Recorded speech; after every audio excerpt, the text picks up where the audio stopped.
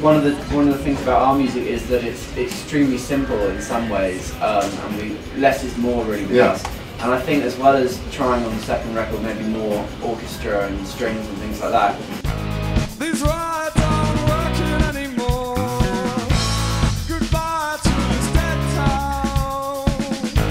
Until the eyes We have a, a lot of very uh, different interests in music as individual people, but um, I'd say the biggest inspiration to us early on would have been uh, a band called Secret Machines.